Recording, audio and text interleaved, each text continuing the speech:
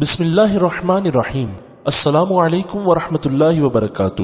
آپ دیکھ رہے ہیں سرائے سرکار آفیشل چینل جب انسان اپنے طرز عمل کو بدلنے کے لیے بے قرار ہو جاتا ہے، تو یہ اس بات کی نشانی ہے کہ پروردگار نے اس پر کرم کر دیا ہے اور اسے ہدایت کا راستہ دکھا دیا ہے۔ علماء فرماتے ہیں کہ دل کی اس بے قراری کا خاتمہ صرف اللہ تعالیٰ کی رضا و خوشنودی کے حصول سے ممکن ہے۔ اگر احساس ندامت اور توبہ کے بعد آپ کے دل کو قرار نصیب ہو جاتا ہے، تو علماء کے نزدیک یہ اس بات کی علامت ہے کہ پروردگار نے آپ کی توبہ قبول فرمائی اور آپ کے دل کو اطمینان بخش دیا ہے۔ اکثر لوگ دعا کرتے ہیں اور اس کے قبول نہ ہونے پر پریشان ہو جاتے ہیں۔ حالانکہ کسی کی دعا رد نہیں ہوتی۔ اس کی قبولیت کا ایک وقت مقرر ہوتا ہے۔ سورہ بکرا میں اللہ تبارک و تعالیٰ کا فرمان ہے، جب میرے بندے میرے بارے میں آپ سے سوال کریں تو آپ کہہ دیں کہ میں بہت ہی کریم ہوں ہر پکارنے والے کی پکار کو۔ جب بھی وہ مجھے پکارے قبول کرتا ہوں، اس لیے لوگوں کو بھی چاہیے کہ وہ میری بات مان لیا کریں اور مجھ پر ایمان رکھیں۔ یہی ان کی بھلائی کا باعث ہے۔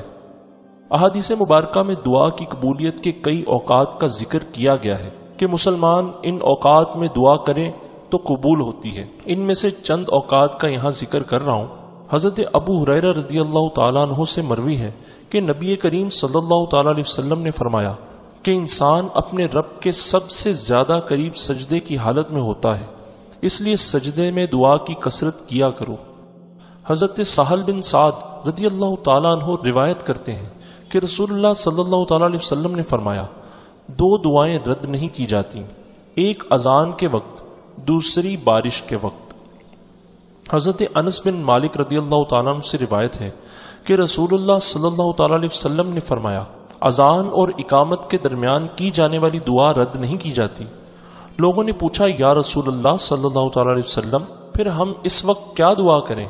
آپ صلی اللہ تعالیٰ علیہ وسلم نے فرمایا اللہ تعالیٰ سے دنیا و آخرت کی آفیت مانگا کرو۔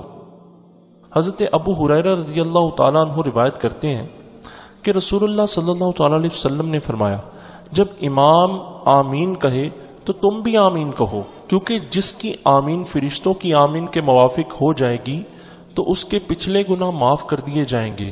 جب امام غیر المغضوب علیہم ولدعالین کہے تو تم آمین کہو، اللہ تمہاری دعا قبول کرے گا۔ یہاں پر ایک مسئلہ ذہن نشین رہے کہ آمین اونچی آواز میں نہیں کہا جائے گا۔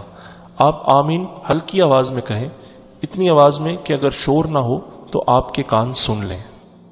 حضرت ابو امامہ رضی اللہ تعالیٰ سے روایت ہے کہ رسول اللہ صلی اللہ تعالیٰ علیہ وسلم سے پوچھا گیا کہ کون سی دعا زیادہ قبول ہوتی ہے؟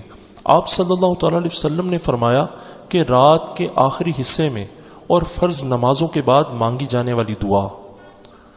حضرت جابر رضی اللہ تعالیٰ عنہ سے روایت کہ رسول اللہ صلی اللہ تعالیٰ علیہ وسلم نے فرمایا کہ رات میں ایک گھڑی ایسی ہوتی ہے کہ اس وقت جو مسلمان بندہ بھی اللہ تبارک و تعالیٰ سے جو بھی بھلائی مانگے، اللہ تبارک و تعالیٰ اسے ضرور عطا فرمائے گا۔ حضرت جابر رضی اللہ تعالیٰ عنہ سے مروی ہے کہ نبی کریم صلی اللہ تعالیٰ علیہ وسلم نے ارشاد فرمایا کہ زمزم کا پانی جس نیت سے پیا جائے، وہ پوری ہو جاتی ہے۔ اللہ تبارک و تعالیٰ کی بارگاہ میں دعا ہے کہ ہماری تمام جائز دعائیں قبول فرمائے اور ہماری تمام حاجتیں پوری فرمائے۔ اگر آپ کو یہ ویڈیو اچھی لگی ہو تو آپ اپنے دوستوں کے ساتھ ضرور شیئر کریں۔ مزید اچھی اچھی ویڈیوز دیکھتے رہنے کے لیے ہمارے اس چینل کو سبسکرائب کر لیں۔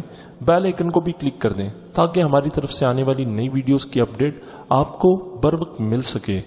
ملتے ہیں اگلی ویڈیو میں۔ تب تک کے لیے اللہ حافظ حافظ۔